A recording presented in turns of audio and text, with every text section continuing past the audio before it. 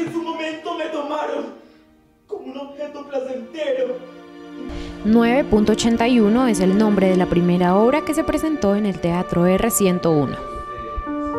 Todo cae es una reflexión sobre, sobre el peso, sobre las caídas, tanto a nivel religioso, a nivel político, a nivel personal, a nivel general, ¿cierto? La obra más que pretender que el espectador se identifique, busca que el espectador visione eh, las caídas y las recaídas. 9.81 es la fuerza de gravedad que ejercen los cuerpos en atracción hacia la Tierra. Los estudiantes de artes de la escena de la Universidad de Caldas y del Poli cerraron el semestre en el escenario. Compartieron sus mejores muestras académicas. Inmaculado ser de luz, te imploro me concedas los favores que te pida.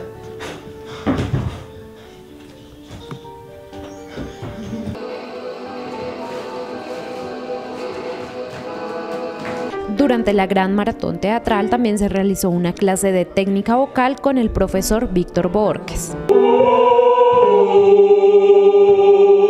El objetivo de la clase es que ellos vean en qué estado están, noten sus posibilidades y se apersonen de ellas y después ellos eh, desarrollen unas competencias. La jornada cerró con La oscura perversión de una rosa, obra que estuvo a cargo del estudiante de la Universidad de Caldas, Johnny Carvajal. Eh, la temática que se manejó fue el maltrato a violencia de género, el maltrato hacia los hombres, que es un tema poco tratado porque en sí la violencia de género siempre da enfocada a las mujeres.